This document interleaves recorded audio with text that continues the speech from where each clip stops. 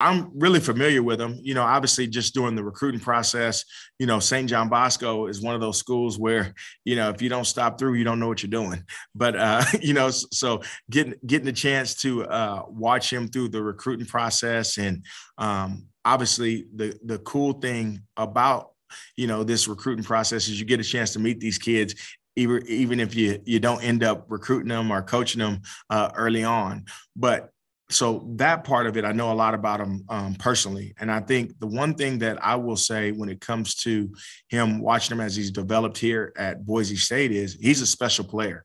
You know, Lee Marks did a heck of a job of getting him here to Boise State. Um, you know, so shout out to Lee there. And then the next part of that is the thing about George, he can run you over. He's athletic out the backfield.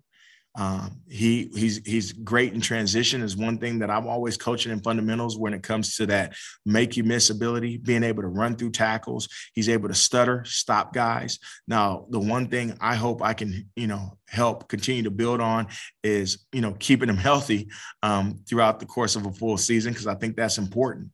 Um, but I think that's uh, that's one of those things where you can kind of help develop him as a runner and um, how he's taking care of himself in the off season between me and the uh, uh, strength coaches and the training staff because he's a guy, you know, in in the likes of you know Doug Martin and Jay Ajayi. If you keep help, keep him healthy, it can change the course of a season.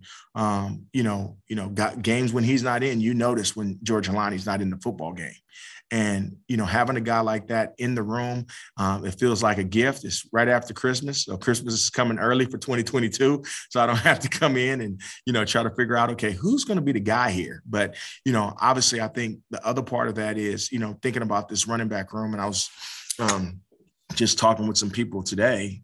You know, it's really important that uh, if George Holani's Batman, we're able to develop a Robin um, we have to develop a quality Robin. And what I mean by that, you know, he is going to take his toll, his his toll of hits and protection and running the ball and catching the ball out the backfield. So when he needs a breather, we need to have a guy that's set and ready to go. Um, so when he comes off the field, we don't miss a beat.